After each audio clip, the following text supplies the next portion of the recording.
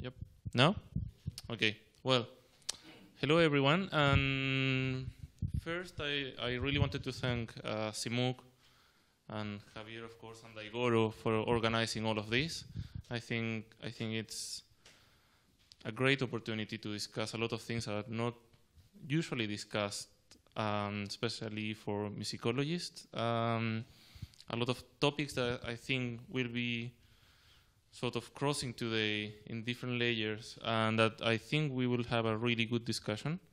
Um, and as Javier said, I think we we also have the opportunity to have some sort of conflictive um, topics and ideas and, and papers. And I sincerely hope my paper also is a bit of a problem in some way and bring some discussion for the end of today.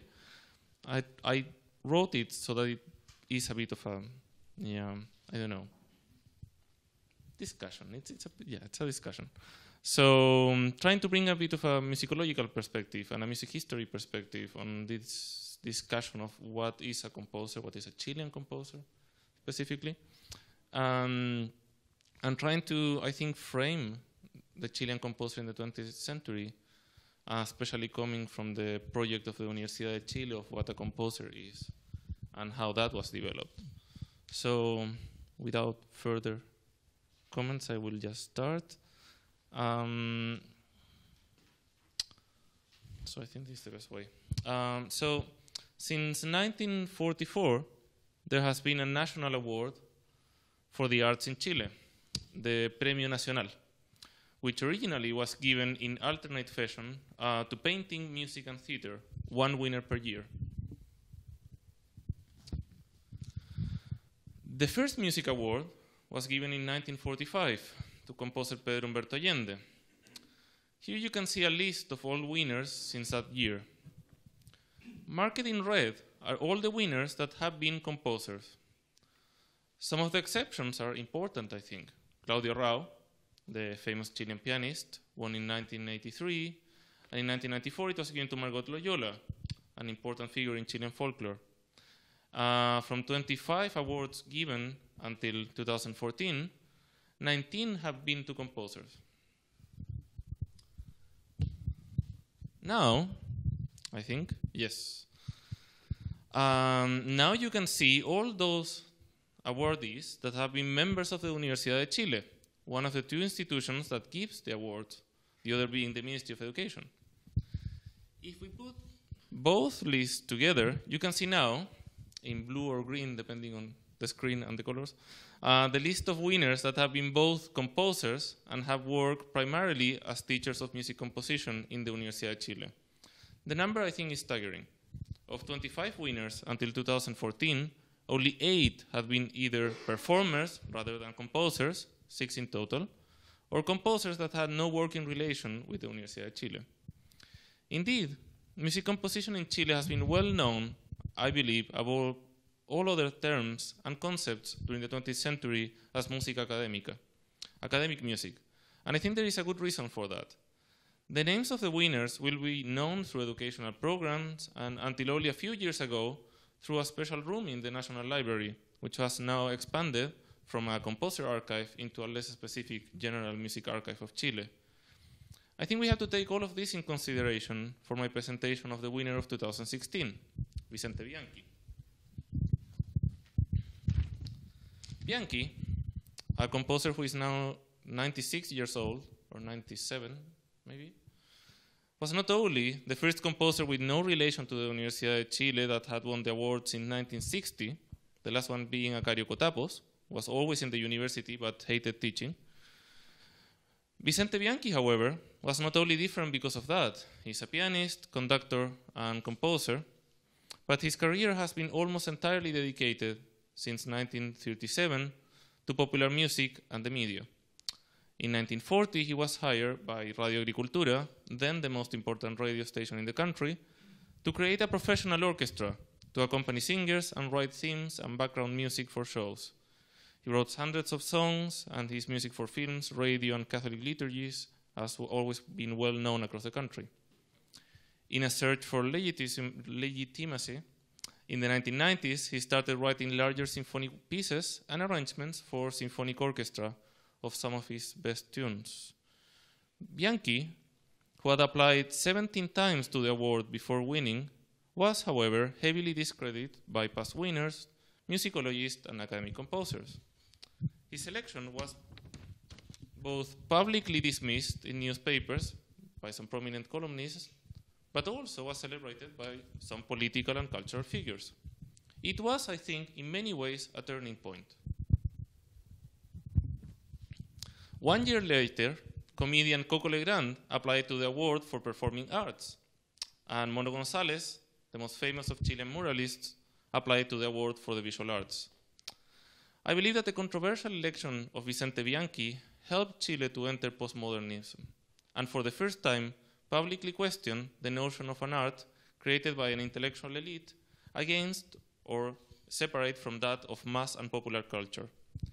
Even more, as I wrote in 2016 in a column about Vicente Bianchi, I think that this phenomenon can, can help us look back into the 20th century and try to understand how exactly the idea of the composer was and has been constructed in Chile, and what have been the implications of that construction.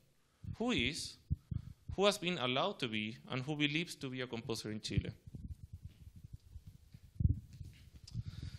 To answer this question, we have to go back and look at the old Conservatorio Nacional, the National Conservatoire, which was dismantled in the late 1920s. It had been founded in 1850, one of the earliest ones in Latin America, and in its structure, there was no division between studying composition or performance.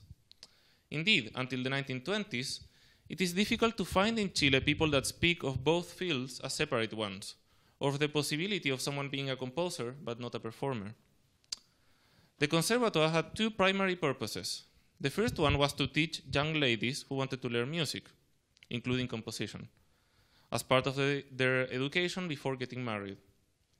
The Conservatoire always had more women than, than men studying, at least until the 1920s. The second one was to teach young musicians who came from artisan or working class families to have a profession that was considered useful and lucrative. The second group, unlike the first one, didn't have to pay for tuition, and most of those who graduated went on to become orchestral and brass band players. Composition was given as a three year course since the 1890s, and it included a final exam for a diploma in composition.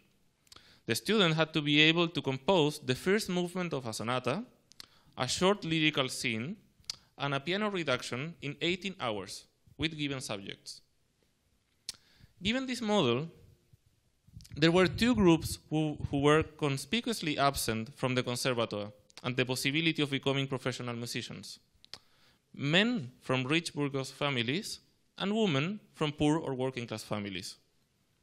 Indeed, if one looks at the sources of the period, this is exactly what happens. Women from the elite like Carmela Mackenna and Maria Luisa Sepúlveda, and foreigners like Enrique Soro or Luis Stefano Giarda, dominated the scene of music composition in Chile in the early 20th century. Foreigners were in charge of the National Conservatoire, and most classes were given by women, who, were, who also were key performers, particularly on the piano. This might seem now very obvious, but actually, I believe it has taken me a long time to understand this problem, which I believe is key to explain exactly what happened in the 1920s with the reform and the dismantling of the conservatoire, the key process that shaped music composition and musical life in Chile in the later 20th century. By the 1920s, the country was changing extremely fast, leaving behind the political model that has sustained it and the National Conservatoire since the Civil War of 1891. The Association of Landowners and Rich Foreigners, that was the government during the early 20th century, was fading by the 1920s, overtaken by, by a new political movement created by young male politicians, mostly from the upper middle and upper classes of Santiago, the capital of the country. The crisis was so enormous that a new constitution had to be created in 1925, a document that allowed for the rise of the middle class until the years of Allende in the 1970s Historians now mostly call this period the one of institutionalization of the country and of real democracy. in yeah, that's that's yeah, that's the key picture. Um, in 1924, a young lawyer, Domingo Santa Cruz Wilson, who would become the most influential figure in Chilean musical life in the 20th century, then a law teacher in the Universidad de Chile, created a Bach society, Sociedad Bach, to perform choral music with friends.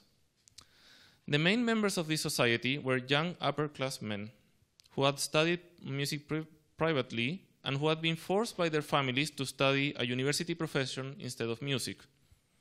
Alfonso Leng, Jorge Urrutia, and Domingo Santa Cruz are only some of the most famous of them. Two, year, two years later, the society created their own competing conservatoire, an influential musical magazine, and also started the first series of public symphonic concerts in the country. In 1927, the National Conservatoire and the Bach Conservatoire both had plans to celebrate the centenary of Beethoven's death, but that collision started a bitter fight between the two groups. Newspapers commented constantly on the dispute, with the directors of each side of each conservatoire, Enrique Soro and Domingo Santa Cruz, portrayed as ferocious fighters. The fight extended publicly to many other musicians. Armando Carvajal, for example, the most important Chilean conductor of the time and promoter of new music of the period, presented his resignation to the National Conservatoire because of the fight. And Pedro Humberto Allende, the most respected composer of the period, and who would be given that first national award for music, resigned to the Bach Society. This could have been, I think, just another bitter fight between composers of different ideas, which is not really a strange thing for the 20th century. But Domingo Santa Cruz, uh, president of the Bach Society, was also a good friend of the then Minister of Education. And he presented a full project of reform for the National Conservatoire that would be accepted the following year, 1928. The resignation of the entire directory of the Conservatoire was forced by the government, including Enrique Soro. And Armando Carvajal, the conductor who had just resigned a year before, would be asked to step in as the new director of the new reformed conservatoire. The Bach Society, now in charge of Chilean musical education, was dismantled soon afterwards, the same people using now the name and building of the National Conservatoire.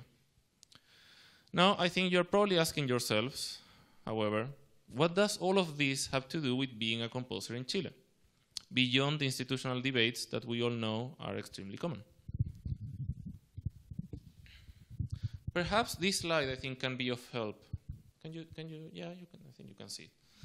Um, it is the copy of the rule book of the Conservatoire from 1928, with all the changes made by Domingo Santa Cruz in his own hand. He deleted the second article, which says that those with aptitudes for composing should be guided with specific opportunities, so a very sort of general approach, and instead added composers directly to the first article that stated that the conservatoire only taught uh, instrumentalists and singers. So you can see here, that's scratch, and now it's composers added to the first group. Um, this change of category for the composer would prove essential in Chile. In his complete proposition, Santa Cruz, uh, Santa Cruz stated that the new music education should not be for everyone, but just a few selected ones that could be the really good students, avoiding, in his own words in the document, mediocrity. Santa Cruz states in this document The history of music is not that of pianists and performers that do music, it is that of great composers. The student of the conservatoire today, however, has only technical capacity, but no brain. People who come out to make money from music. Enrique Soro, however, had a completely different opinion. This, the old, um, the director of the old conservatoire. He believed that a conservatoire was not a place to create composers. I quote from this interview in 1927. The conservatoire cannot create geniuses, as many want to believe. A genius is born, and what we can give is the tools to have a career to teach them the intricacies of this art. But the mission of a conservatoire should be, first, to teach music to the workers. We are workers of the arts, workers that know about their craft. In this fight, which was as much about class as it was about music, I think, the Santa Cruz Party won. Enrique Soro and his main collaborator, Luigi Stefano Giarda, lost their jobs alongside most of the old composers of the Conservatoire. In the case of Giarda, he even contemplated suicide for a few years. What Santa Cruz brought was a new ideal of the composer and of music education alongside it. The composer, who had been at the bottom of the musical hierarchy in Chile before, was now at the top. And the concept of music education for a selected few ones was directly related to the idea of the centrality of the composer in the romantic German sense. A Santa Cruz follower, Alberto Spikin Howard, wrote in 1927, I quote, We can understand that some musicians have to play music that is certainly not culture, music for cinemas and cafes. But one has to be honest. It is okay to earn your bread with Bellini, but not so with Beethoven. We have to start making art, like composers, like priests, ascetic and abstinent of the world. So I hope you're getting the picture of the new, the new project. Um, so in 1929, the Conservatoire was incorporated to a Faculty of Arts, which still exists today. And that allowed for music degrees to be given by the Universidad de Chile, including that of composer. But Santa Cruz, who would be, uh, become dean of the faculty in 1932, and with short interruptions served until 1968, kept fighting for a more tightened control of musical life in Chile. In 1940, the law number 6 1006 or 6696 uh, was published, which created a National Institute for Music Promotion, which was allowed to oversee concerts in the entire country. The law explicitly states that the dean of the Faculty of Music had to be the president of the institute, the other members of the directory being two composers and the administrator of the local opera house, then the only concert hall in Santiago. The law stated that the institute was going to be financed through 2% of the incomes of all the um, performing shows in the country, including movie theaters and popular music concerts. It allowed for the creation of a national symphony orchestra, which still exists, and a yearly competition for national classical composers. On the one hand, one has to recognize that this project created an overwhelming impulse to Chilean classical music in the 20th century.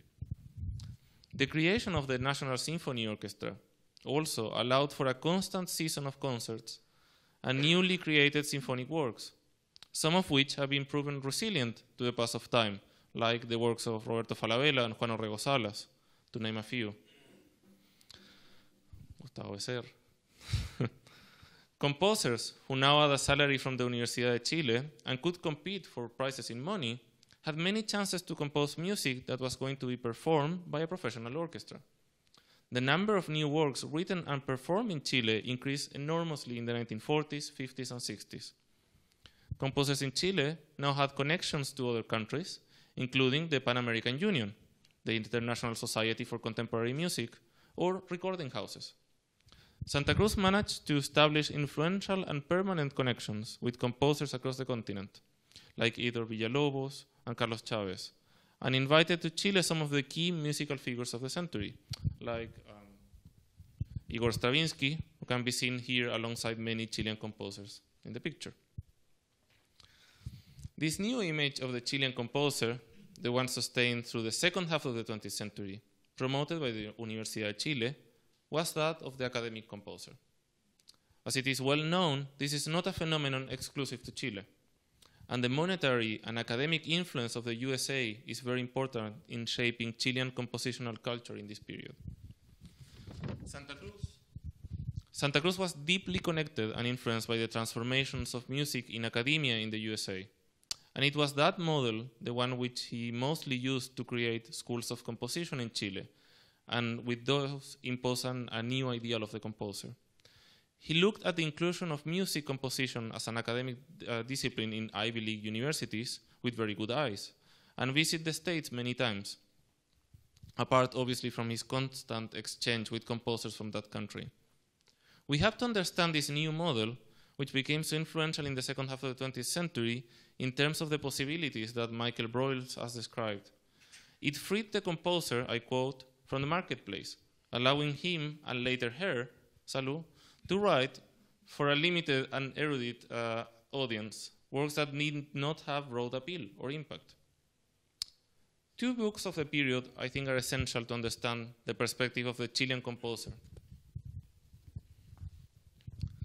In 1951, Vicente Salas Viu, a Spanish musicologist who had escaped from the Spanish Civil War, finished an account of all musical life in Chile which he had been preparing for one decade, La Creación Musical en Chile. With catalogs of works and a very personal appreciation of each composer in the country, he built a perspective of Chilean music that has proven to be enormously influential. Salas Viu's hypothesis is that Chilean musicians had almost no musical background, that they were not really related to what had happened musically before in the 19th century or in the old National Conservatoire.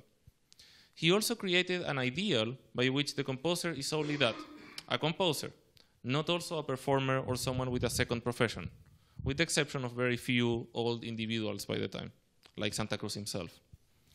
They are also mostly only men, uh, something that was becoming very obvious in Chilean musical education by the 1950s. He also didn't consider anyone who also wrote popular music or music, music for the movies, considering them less than composers. This idea was going to be expanded by philosopher and composer Roberto Escobar in his book Musicians Without a Past from 1971, in which he stated again that composers in Chile appeared only with the reform of the Conservatoire and that they had no musical past, as the title says. This, in uh, Escobar's opinion, explained why there were no specific aesthetic uh, schools in Chile, but just many di different individuals writing music. Uh, there is a full dissertation on this book and its central idea by Fernanda Vera, which you can download from that link if you want. So I won't discuss it here extensively, but needless to say, its essential premise is still pretty much alive, I think, in many musicians in the country. Indeed, these books made a point. While I cannot agree with this idea that Chilean composers didn't have any musical past, it shows that what was meant by the concept of composer had changed so much after Domingo Santa Cruz that no connection was with the past was meaningful anymore. The concept of musicians without a past, to speak of Chilean composers, had, had in fact been used for the first time by Domingo Santa Cruz himself in 1941. But the concept of the academic composer as the only composer and one without school or musical past, but the Universidad de Chile, was already being discussed heavily in the 1940s, and the debate only increased in later decades. Pablo Garrido, of whom I think Eileen will probably speak a lot more, uh, is a key figure in this debate, being a prominent member of the musicians' unions of the period. Garrido had important contacts with several composers abroad, including Arnold Schoenberg and Henry Cowell. Uh, you can see the letter from Schoenberg, one letter from Schoenberg to Garrido there. Garrido coordinated an independent society of composers, part of the Union of Orchestral Musicians, and that grouped more than 60 composers who mainly wrote popular songs or music from the movies that were not allowed to be part of the Universidad de Chile. In an article in 1940, Garrido stated that this society only existed because, I quote, academic composers of serious music simply don't consider anyone else as their peers. We have to be brave and show that we are all Chilean composers, not only writing charming melodies, but working as men of action, practical, and lovers of good Chilean music. Until then, Santa Cruz and Garrido, who was a prominent jazz player and popular music composer, had worked together and can be seen in many pictures together at the center of musical gatherings and public meetings at the time. But they grew apart in the 1940s, a sign of the larger distance, I think, created between supposedly different types of composers, and increasingly narrower definition of composer in the, in the context of Chilean institutions and academic musical life. Garrido believed in the organization of musicians as a guild, like Enrique Soro did in the old conservatoire, and not in terms of university hierarchies. But Domingo Santa Cruz, again in the picture, um, as leader of the music institutionalism, had very strong views on the matter, and the idea that composers were only a few was central among them. many of his explicit views and the ways in which he censored music and musicians have been left in letters, interviews, and official documents. As a sign of his attitude, he stated in an interview in, 19, in 1979, when asked about ambient music, a new concept in the 70s, I quote from Santa Cruz I have no problem in becoming an Ayatollah and forbid any music like that permanently. Asked in the same interview about pop music, he said, I have no idea what that is. I ignore it. For me, music, that kind of music is transparent, something that you don't see nor listen. So I want to say a few words now on those groups that were most affected by the construction of an academic composer in Chile in this project from Domingo Santa Cruz. A group that was very evidently uh, out from the hierarchy of composers after the reform was that of women composers. Indeed, in the early 20th century, some of the key composers have been women, um, like Carmela Mackenna, whose piano concerto was premiered in Berlin in the 1920s, and Maria Luisa Sepulveda. But their music was almost never performed again in the decades of Santa Cruz administration, and thus I think they are largely ignored today. Santa Cruz explicitly stated in another interview in 1979, a very long and personal one, that I quote, I approve that women study or work, but in what they can do. Have you seen that, for example, there are no good women composers or mathematicians? Instead, you are good at this, to the reporter saying, gossiping, which you do much better than men. So during the Santa Cruz years, women were rarely allowed to participate in musical life as composers, and only in very specific circumstances. Take, I think, the most obvious case, that of Leni Alexander, the first Chilean composer with real contacts with the newest trends of music in the 1950s. She worked closely with Boulez, Maderna, Messiaen, and Schaeffer. She was a good friend of Luigi Nono, and she was key in, she was key in inviting Nono to Chile in 1967, 1971. It was late, he later came in 1983 in more political terms. Dimitri Mitropoulos requested an orchestral composition from her, Time and Consumption, written in 1959. However, being the Chilean composer with the best contacts and most prominent career of the second half of the century abroad, she was never offered a position in the university, which she wanted. On the contrary, she mostly had to organize her own talks on contemporary music, and usually in the Goethe Institute. And by the end of her life, she was mostly teaching improvisation for young children. That is the general trend, from Ida Vivado to Silvia uh, Soublette, and also looking back to Maria Luisa Sepúlveda, the Chilean woman composer was only accepted as a creator when she stayed in the field of music for children and education. This year we are celebrating the centennial of Violeta Parra, and perhaps her case could be used as symptomatic of the models of the time. She was extremely conscious of the dichotomy by which she could be seen and heard as a folk and popular artist, but not as a classical one. She tried many times to be regarded as a composer, to no avail. She even recorded some instrumental works just for Alfonso Letelier and his family, uh, a tape that was regarded as nothing more than a family curiosity by the Letelier family for many years. Significantly, Violeta titled her very last album as Últimas Composiciones, or My Last Compositions.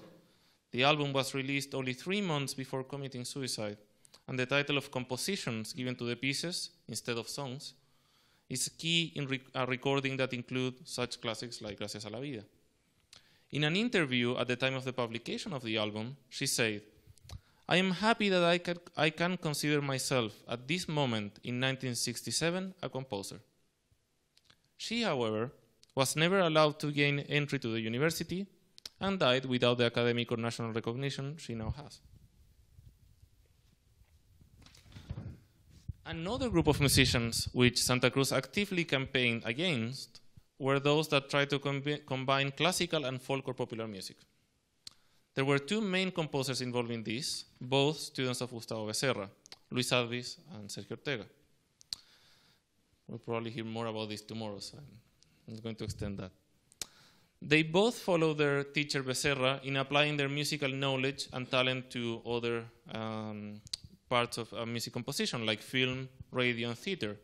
Fields that were considered outside the notion of composer as sanctioned by the university. Both were key in the creation of Nueva Canción Chilena, certainly the most important musical movement in Chile in the second half of the 20th century. Sergio Ortega wrote songs as important as El Pueblo Unido, and Advis would become one of the most respected musicians in the country, with collaborations that well, uh, went well beyond the framework of the classical composer. His cantata Santa Maria inaugurated a tradition of grand choral works that combine the popular, the folk, and the classical, usually with a political message. Santa Cruz, however, was deeply against this line of work, in which the division between the popular and the academic disappeared.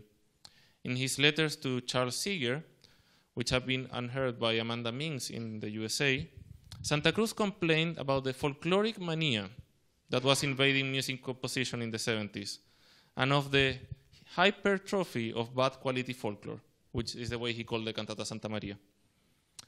Advis, as the symbol of the movement, was never granted an academic position as composer. He was only allowed to teach musical aesthetics and mostly from the theater department of the music faculty or from the arts faculty. A course that was taken by generations of musicians that wanted to study with Advis, the most famous of the musicians in the faculty. Of course, I have my choice of quotes from the interviews. I think they show a lot. Um, of course, politics were part of the problem. Santa Cruz already had gone through a heavy political conflict in the mid 1950s during the government of Carlos Ibáñez, where opposition to his views and practice became supported by the president. This came mainly from the Popular Socialist Party in Chile, the left wing section of the Socialist Party at the time. In 1970, during the government of Allende, a socialist president, the entire project of funding and, and, musical control that Santa Cruz had created decades before was transformed in support of socialist musical projects rather than on academic composition. Because of this, Santa Cruz, who had always been more or less a centrist, supported the Pinochet dictatorship. However, by 1976, three years into the dictatorship, Santa Cruz was complaining with other composers that the new notions of culture were only being dominated by market perspectives. That orchestras were choosing only works that sold tickets and not promoting Chilean composers as they did before. He saw Fernando Rosas, a conductor and founder of the youth orchestras movement in Chile, the new one, as the poster boy of this new model. He called the boy Rosas as no more than a businessman in a private letter, not publicly. Um, however, the 1970s and 1980s were also years of rapid changes for music composition and academic composers in Chile.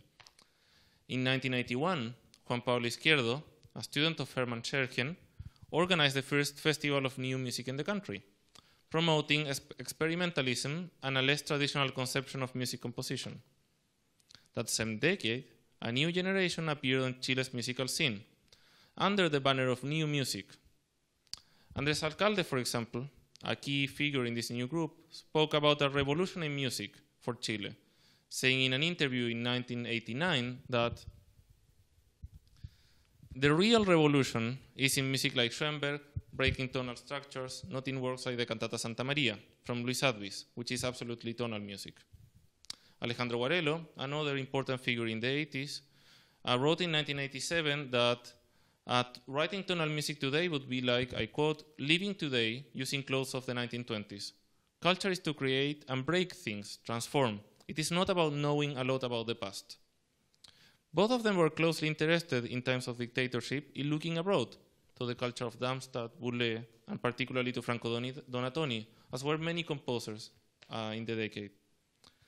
But new music in the late 80s was a way of questioning the status quo at a time when the dictatorship was falling apart and democracy coming back to Chile, in ways that are not too dissimilar, I think, to the efforts of Santa Cruz himself in the 1920s.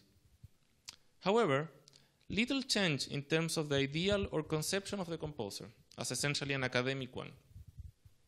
Many members of this new generation, as Rodrigo Torres called them uh, in an article in the 80s, kept jobs in the Universidad de Chile, Perhaps I think more innovation was produced by those that sometimes left to other universities or studied in universities in other cities like Concepcion, Valparaíso, and so on.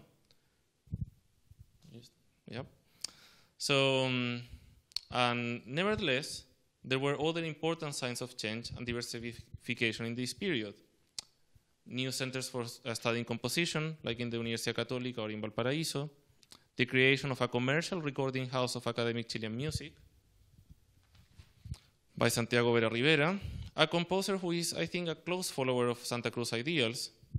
Uh, but in many ways, I think this recording house is the best sign of how the old conceptions of academic music and the new ideas about free market were combined in the 1980s and 1990s through several recordings of both past and new music.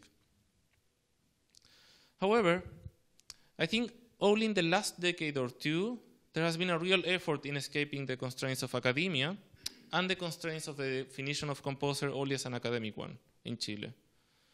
Perhaps the main reason is not so much the appearance of internet and the possibilities of self-publishing, but rather the appearance of public national funds for the arts that were for the first time open to anyone and not only those with university positions. This has meant that now anyone can present a project of music composition or recording, and while they have to go through a jury, usually of academic composers, there has been room for change in institutional and aesthetic terms. But perhaps the more radical signs of change are coming from those musicians and, com and composers who perhaps are transforming uh, what I believe is a, maybe a new music scene in Chile in the last decade. One that sort of tries to uh, bridge both styles and both ideas of composer. On the one hand, we have the many students of music composition uh, in universities now who have decided to have a different career and concentrated their efforts in other musical styles and scenes after studying composition. One can mention, for example, the case of Enzo Vasquez and his band Los Vasquez, which is the most popular and best-selling one in Chile, or songwriters like Dano Stern. On the other hand, women composers like Francesca Ancarola, Hugo Di Prima, or Carolina Holzapfel, who all uh, studied composition in academia, also actively confront what they see as a misogynist musical scene through their songs, regarded both as songs and as compositions. However, that is only one side of the spectrum. Another, spec another side where I think, I think things are happening is comprised of those musicians who have decided to separate the fields of composition and popular music, dedicating themselves to both in the shape of two different musical personas. Miguel Farias, perhaps, is the best known example, currently premiering next year a new opera in the Teatro Municipal, Chile's main opera house. But he is also a well-renowned musician in cumbia and salsa, having composed several songs. With Jaime Vázquez, member of the famous local band Fulano, he has created a school of composition in the Academia, Academia de Humanismo Cristiano, that leaves the option open for students in terms of choosing to be a popular composer or academic composer. While originally more oh, there is the picture, more of a um, new music composer, Esteban Correa, who has also won several awards in Chile and abroad, is now part of, I think, what is a similarly open-minded faculty of music La Serena, and has also, uh, in his work, showed this trend, and um, he also practiced rock, so there is that connection.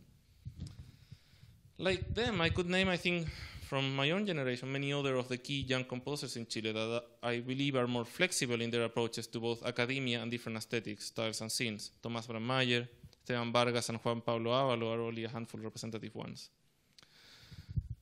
As a final point, and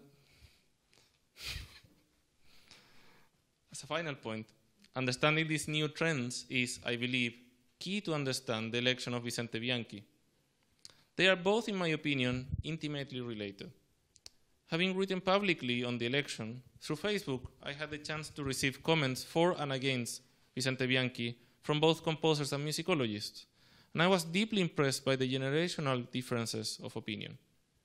In fact, I would say that this paper really comes from there, from that experience, rather than from my usual academic work.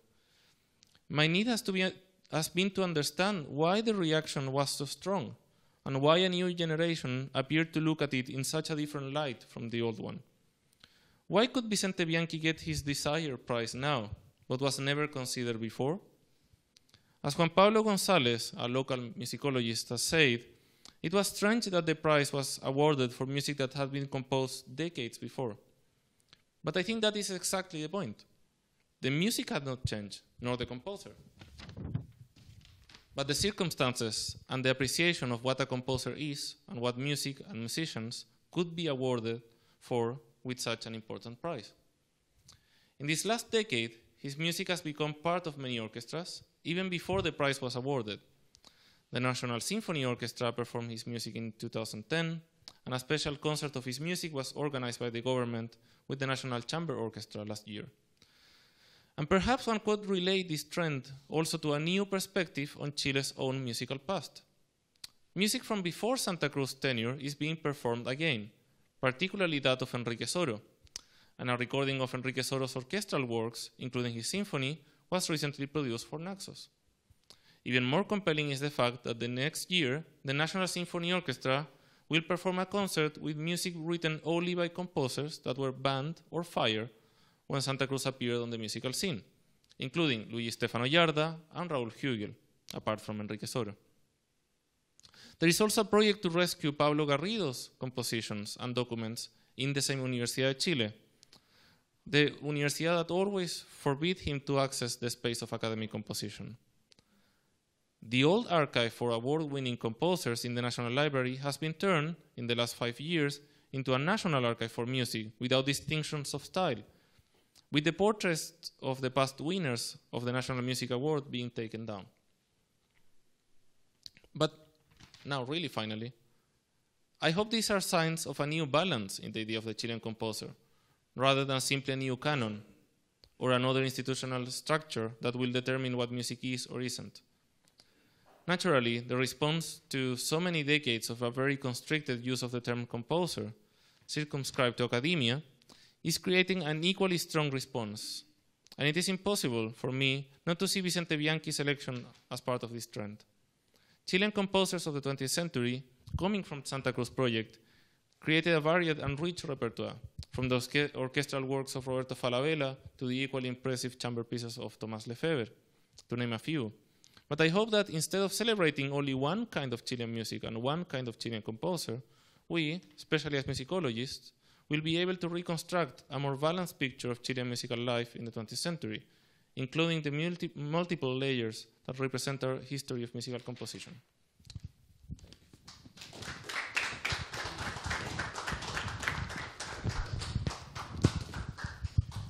Stay with us. We will have a few questions now, and then we go to the first coffee break. Um, questions from everyone who wants to ask a question. I will begin with a few questions, but please, if you would like to, just tell us and I give you the microphone.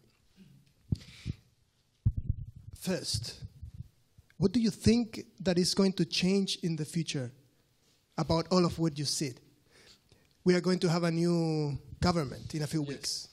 Maybe it's going to be a very different government as, as the, the one you talked about, where the, the award for Bianchi was mm. made possible, for mm. example. Um, is there anything that you could maybe tell us that is going to get better or get worse, or in what sense it is going to change the way a composer is defined in Chile? Because uh, we could see that politics has an influence in mm. in this, mm. and uh, of course the academia. Mm. The academia is also changing. So, is there anything that is going to change? So that is a good and difficult question. Because, of course, what I do is music history. So I cannot really say what's going to happen in the future.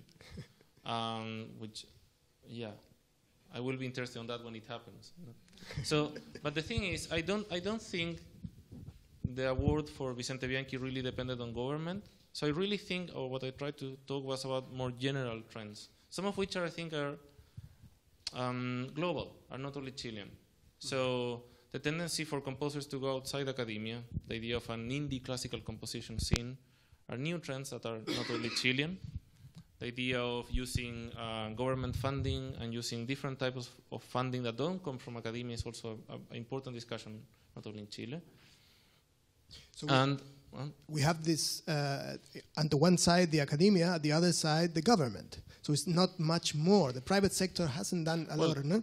that's that's where I wanted to go. I think I think also the trend since the dictatorship of sort of mixing, uh, um, and I I would say a conservative idea of classical music composition and the market has also been very strong, and and I think the question really is if that is going to be more and more explicit or not, because we know globally that the the idea that um, the market supports um, like new mus- new music is always difficult because there is always the tendency to think that the music is going to sort of attack the market back, and so you are not safe as a businessman to support financially that music when it's not already created.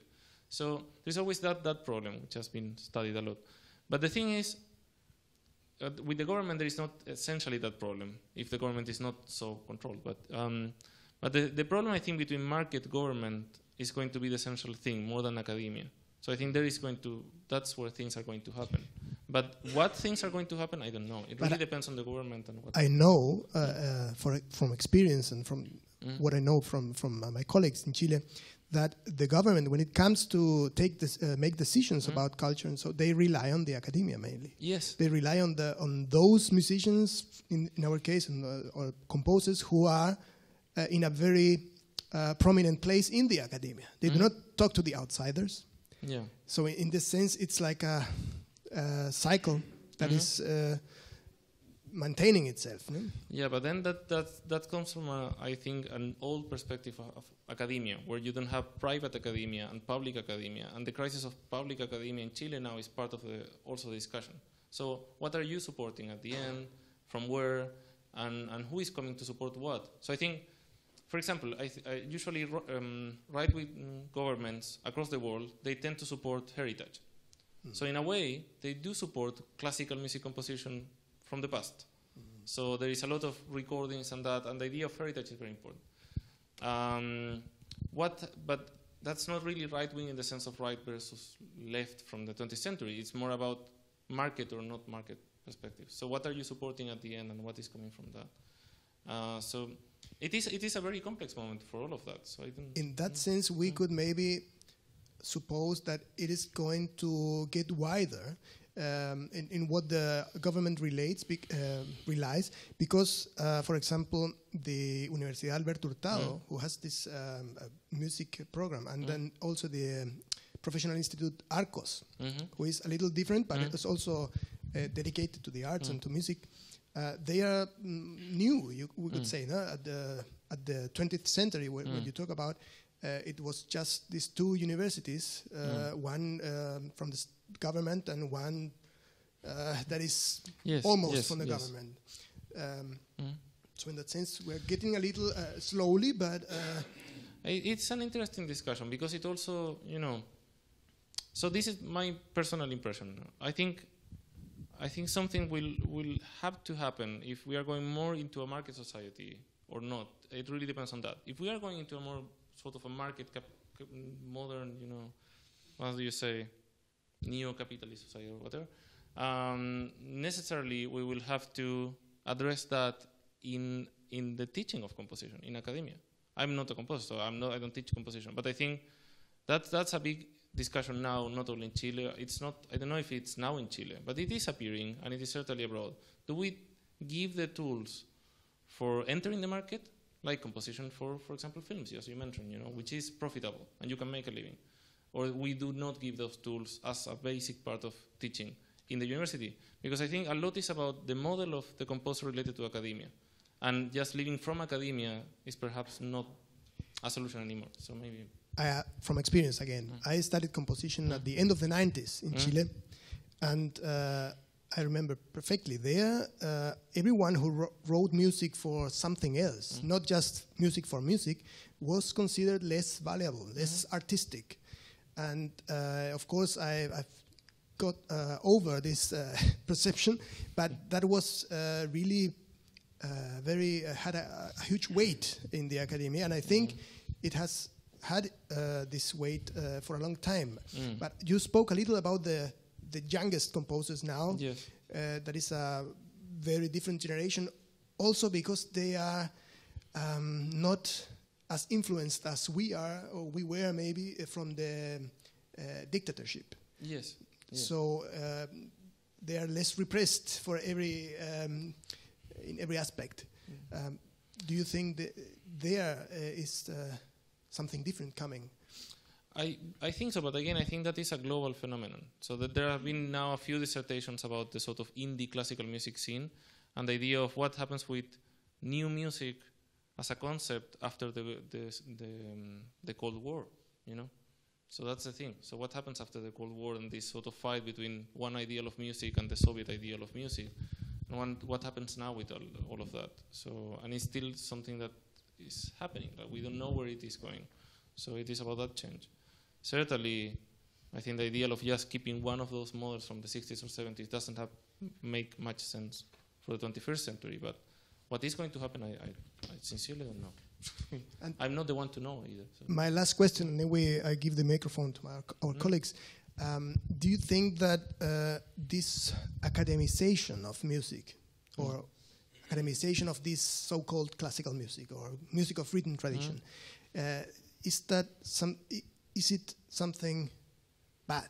Can we say it so just placative and that is bad thing? No, no, mm, uh, no. I don't think it is necessarily bad. I think it's part of a project, you know, coming from the government of Roosevelt in the 1930s and the idea of in the USA and that influence across the world about the idea of and well, and obviously the Soviet government at the same time, and the idea of that the state has to support the arts, which was a new idea in the 1930s.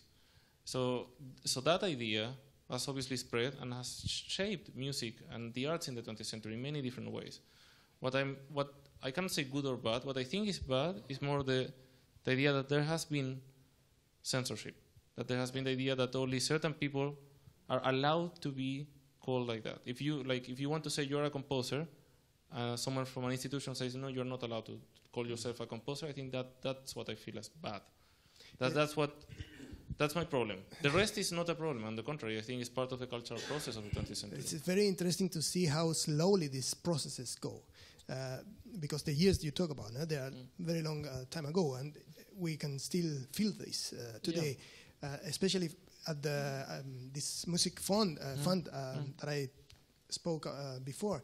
Uh, they have these three categories, no? That Yes, separated, separated from the state already. So uh, that makes a change in the way composers think afterwards. So if they their project is going in the category mm. of uh, popular music mm. or folkloric music, then they are not considered to be classical composers or, or oh, so. And then these categories are, of course, related to hierarchies. And, and there was that problem when, when Luis Advis was given the, the presidential award. He was never given the national award, but the presidential award. It is also divided into three categories. Yeah. Still is. and there was this fight about if he should be declared from folklore, popular. Everyone agreed that he should be given an award, but was it for classical, popular, or folk? And, and as, I think that really shows that Yeah. in the, the central thing about dividing is not necessarily. One of Good, the, the few composition uh, contests that we have in Chile is It's called also Luis divided. Advis. Yes. Which is Uh, also divided. Yeah, it's also Yeah. divided, but it's uh, which doesn't make any sense being called Luis Exactly. Advis. Yes, yes, that that's my my situation with it personally. But So, who would like to?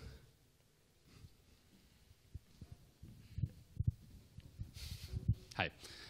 Uh, what was the relationship between the composers, Chilean composers in the 20th century, all these controversies, uh, with the exceptional figure of Claudio Arrau?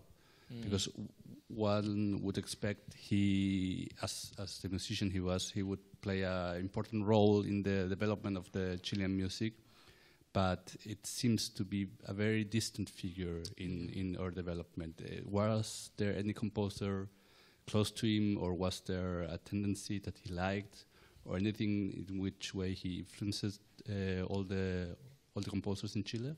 no, and actually in Claudio Arrau, so there is no almost no influence by him really if you trace it, because you can certainly feel in his career the influence of all this project. So when he started in his repertoire, he added Chilean music in the 1920s. Um, and there was this connection. He played a piece by Acario Cotapos. Um, and th- there was this connection. And then there was this. Uh, Enrique Soro always sort of um, encouraged him to play more Chilean music. And but there was the break with Santa Cruz, also with Claudio Arrau. Claudio Arrau went into a more international career, and at, at a certain point he even stopped coming to Chile.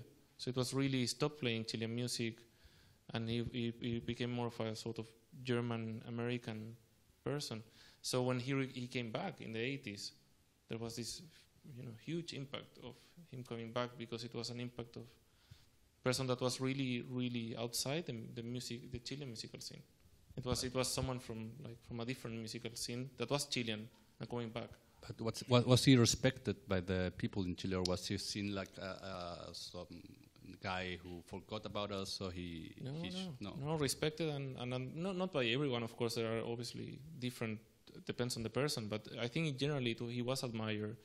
Um, ideas like interviews from him and everything were published in the newspapers. Was constantly. He, everyone knew he was the most famous Chilean musician abroad with Ramon Vinay, uh, but but but there was this sort of problem with the connection of him and the and the, and the government and everything what that was happening. And and I think the problem here is that in this new sort of pyramid, you know, the top is the composer. So he and and he came from a time when he was at the top as a performer and as a pianist. So it goes, he sort of went went down in the in the hierarchy with the change with Santa Cruz. So that really feels, I think, from his very sort of active role in the 20s to a very very non-specific role in the 50s and 60s. And you mentioned Cotapos. He uh, he played uh, works from Cotapos, and I think also he taught a lot of his works to his students. Yeah. yeah. So was there a Oh, one, personal one work. Hmm? was there a personal relationship with him, or Not that I know, but but uh, Cotapos was like a really respected figure in the 20s as a cosmopolitan also composer. So, and Cotapos was you know in contact with the international society for um, like new music and composition, and with with Varese and that sort of scene in the 20s and 30s. So I think there is that connection, sort of the cosmopolitan connection of both with Arrau and, and Cotapos. Mm,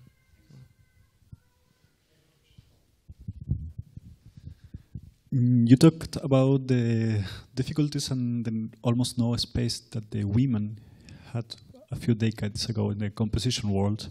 The, the, sorry, The women, uh, women. women, yeah. Do you think that because it's a subject we are discussing now as a country, do you think that now there is equal spaces and opportunities for women in composition? I, I, I sincerely don't think I am the person to ask that, but because I've been I've been discussing that with many, you know, women composers and friends and not so friends, and uh, it's it's actually sort of a side project at the moment. I'm really thinking about that and, and the problem of what happened and and how like young women composers discuss that. And last week we had a long discussion in the um, MA for musicology in the Universidad de Chile with uh, Carolina Holzapfel. It was it proved a really really wonderful discussion about how she felt coming from studying composition in the 90s, and she was one of the few women studying it. Um, and that, that sort of, but I, I, I really see that trend of women studying uh, composition in Chile in the 90s and the early 21st century, and after finishing or never finishing it, going into doing like songs and albums and sort of doing something that is not.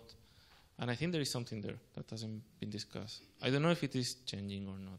I really, I really don't know. Uh, that we would have to ask people studying composition now, women studying composition now, or that just finished, and that would be really important, I think. Mm.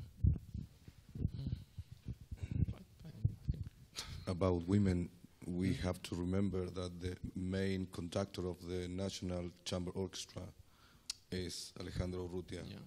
wonderful conductor as well. I, I'm not going to ask you anything, just a commentary. Mm. Uh, in 1936 was created the National Association of Chilean Composers, and it was against Soro.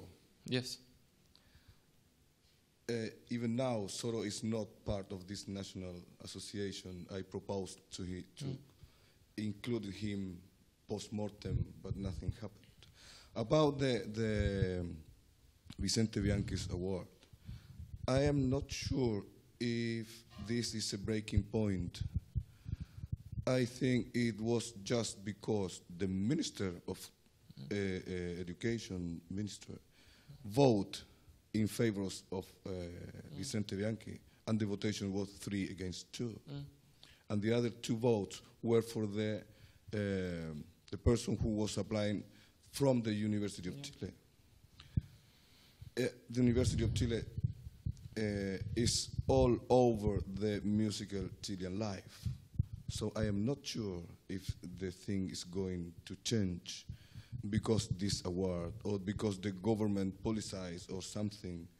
Uh, I, I, I want to, to be optimistic in terms of the young composers and young performers and young music, uh, musicologists are going to change this general idea of being a classical musician in Chile, which, which is led until now by the, the uh, academic uh, mind of the University of Chile. It, it I- yeah. Um, well, the so first the, the thing about um, this this National Association of Composers that was that was really the, probably Eileen knows much more about that than I do because it was really this this fight about not creating a uh, so not becoming part of a general um, um, union of musicians and saying no composers should have like a different group uh, and there was this entire discussion. So, of course, all those composers that felt differently joined with Enrique Soro and that different project. And actually, Enrique Soro became a key musical figure in the in the government of Pedro Aguirre Cerda, where he was sort of raised again as that, you know, and he won the award at that time because of the influence of that government. Um, so, so it really it was about about politics and all of that, and there was this other association of composers with Pedro uh, Pablo Garrido. And on the last point, yeah, yeah, of course. Um, of course, it's more. I believe it's more of a symbolical breaking point than a real. Um, in the same way that all the old awards were given mostly because you know, as as Fernando Garcia said in a recent interview, because they were friends sometimes and you know family. Um, I'm sorry, but yeah and and and tha- that's really a reason. So in this case, that it was also because of some condition that happened, but it happened. And what I see, I see it as a breaking point of what for what has happened before or like after. You know what happened with Coco Legrand, with all of that, is is a reaction to that, saying, well, you know, we are also that kind of artist, and we should, you know, we should. And I think so that that I feel that it happens in other arts shows that it is in a way a symbolical breaking point mentally. Okay. Thank you once again. An applause, please. Jose Manuel. We are going to make a 10 minute pause uh, to take coffee and eat something maybe.